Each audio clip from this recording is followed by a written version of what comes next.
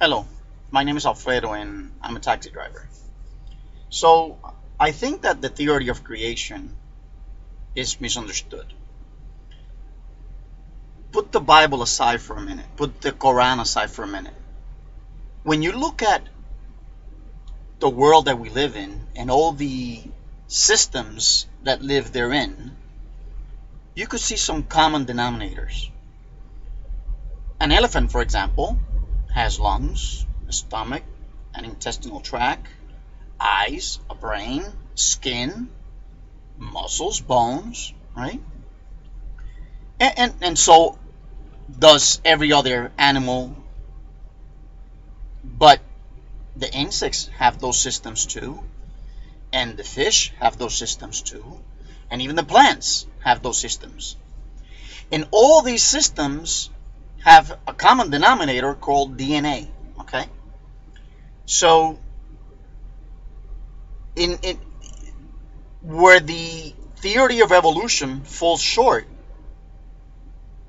is that it doesn't account for the commonality between all these systems. Okay? Because if there was absolutely a process of evolution, then there will be other kinds of systems, right? But all these systems have some some common denominator. And so it, it seems to me that there is an intelligence, some of us like to call it God, that find or found a system that would work, a design that would work, and shaped it into different things, like dinosaurs or giraffe or wolves or fish, etc.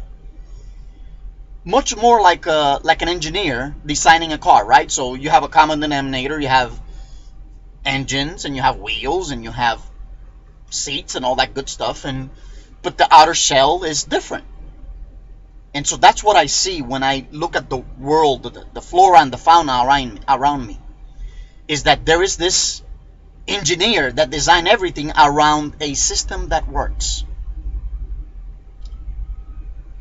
To hear more about these issues, please visit mysecondchanceinlife.com.